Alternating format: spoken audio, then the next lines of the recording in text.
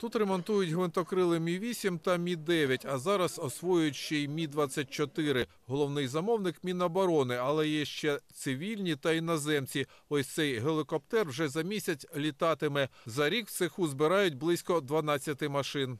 Сейчас мы на, на этапе сборки, собираем борт, а особенно это, э, е- это ядрическую э, систему.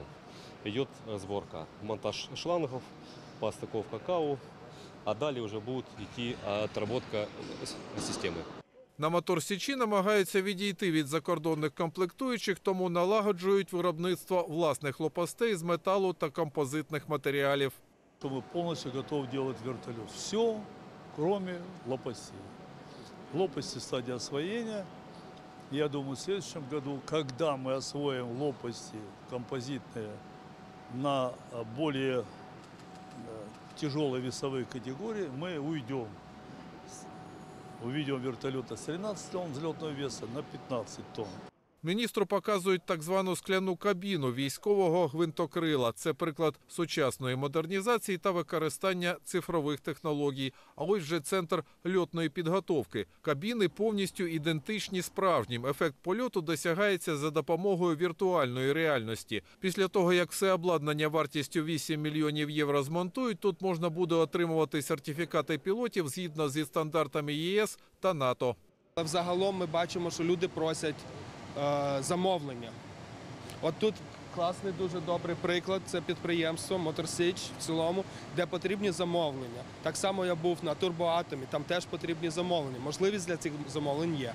Також Тимофій Мілованов відвідав підприємство Івченко Прогрес. Ось найбільший двигун, який збирають тут. Його використовують на Ан-124 Руслан і Ан-225 Мрія.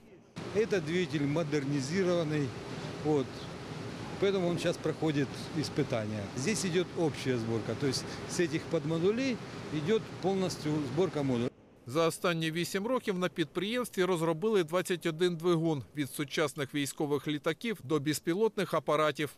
Мы не владели раньше технологией изготовления форсажных моторов этого вида для боевых самолетов. Мы освоили в условиях вот этих трудных условиях, освоили полностью технологию. То есть нам никто их никто не дает, в мире их никто не дает.